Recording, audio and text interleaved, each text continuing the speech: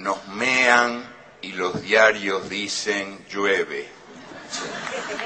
El caso más claro, más escandaloso de manipulación de la opinión pública mundial es hoy por hoy el caso de Venezuela. En, en, el teatro, en el gran teatro del bien y del mal, hay una distribución de funciones entre los ángeles y los demonios. Y Hugo Chávez es uno de los principales demonios es un dictador desde el punto de vista de las fábricas de la opinión pública mundial. Hugo Chávez es un dictador, es un extraño dictador, sin embargo. Ganó ocho elecciones en cinco años y ahora, recientemente, en el referéndum, fue el primer presidente en la historia de la humanidad que puso su cargo a disposición de la gente.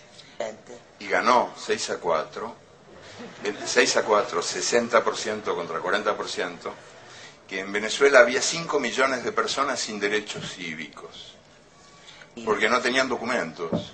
Y los hijos no podían ir a las escuelas porque no tenían partida de nacimiento. Eso es lo que Chávez está cambiando, porque en pleno paraíso petrolero, en lo que se llama la Venezuela saudí, había un millón y medio de analfabetos que ahora se están alfabetizando.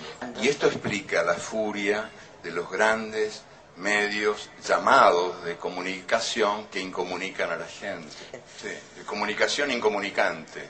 Y también explica el resultado de esta elección y de las elecciones anteriores, porque hay un pueblo que resume su actitud de perfecta manera a través de la frase que dijo un venezolano pobre que fue encuestado recientemente. Sí, que es más expresiva que cualquier discurso. Dijo, yo no quiero que Chávez se vaya porque no quiero volver a ser.